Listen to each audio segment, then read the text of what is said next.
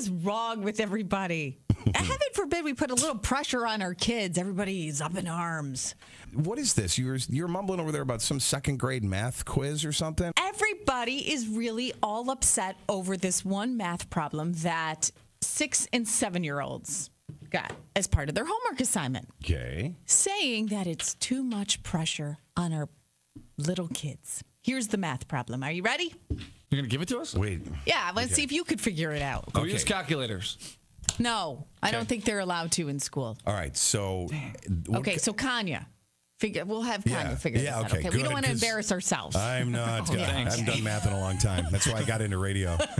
and I will be the first to say, uh, yeah, math is not my uh, strong suit. So What kind okay. of question is it?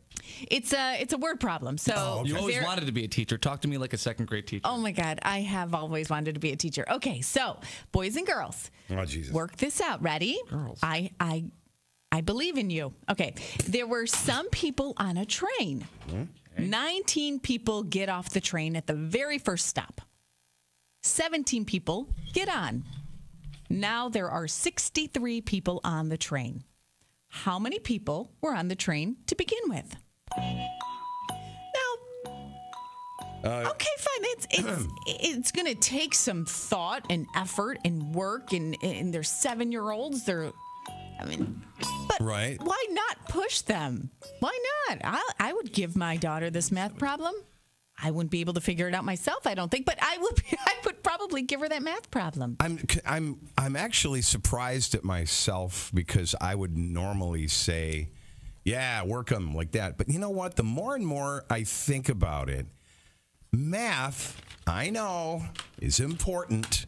But like I said a couple seconds ago, I don't use math.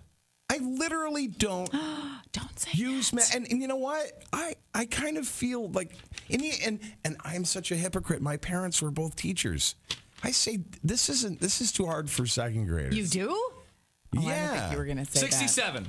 Uh, no, no, but good try. Keep trying. Wait. No, it's not sixty-seven. 19 people get off a train. 17 people get on, and there's 63 people. Right? How many left. people Oh, were okay, okay. to start with? Right? see. Now, I, I don't. I see. This is the problem. This is why our kids. Now, I, I have been cited as coddling my children too much, and I may coddle my kids too much. But when it comes to pressure and and, and forcing them to work and, mm-hmm. and trying to push themselves to the next level. I don't see anything anything wrong with this. So they get the math problem wrong. It, it, it, it doesn't matter if you get it right or wrong. Just try to work through it. 72. no, seventy-two. 19. Okay, 17. If you put too much pressure on a child, they shut down. what level of math problem is this? Second grade. Okay. Two to two buzz is the number. Can you put that up? with- Hey, hey, it's the buzz. Good morning. Hey, good morning. Hey, man. Hey, listen, you're totally wrong with the math stuff. I'm a mechanical engineer. Uh huh.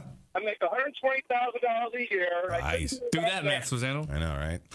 All right? And you got to balance your checkbook, got to read your RG&E bill, and you got to put fuel in your gas tank.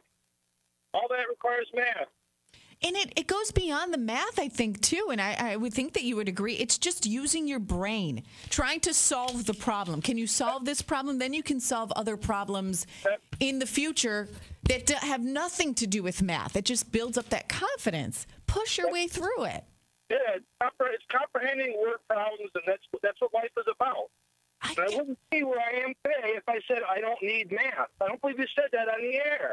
I did. Yeah, you I'm not saying you are don't- in timeout, young man.